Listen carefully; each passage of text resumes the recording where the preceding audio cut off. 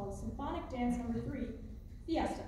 So uh, this piece was written by Clifton Williams and commissioned by the San Antonio Symphony Orchestra in 1965 uh, to celebrate their 25th anniversary. Uh, the band version of this, which we're going to be playing today, uh, was premiered in 1967. Uh, so this piece is intended to depict the many flavorful celebrations and cultural tics of Latin America, which is kind of cool. Uh, so this piece is complete with lively trumpet solos, uh, twisty 16th note triplet rhythms, uh, a recurring melody that you'll surely be whistling on your way out.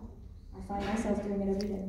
Uh, and most importantly, a grand trombone finish, which is always brilliant. Uh, so as you listen, uh, try to picture a colorful bullfight uh, as this piece escalates from a glorious brass fanfare into a full-on fiesta. Please enjoy Symphonic Dance Number 3, Fiesta.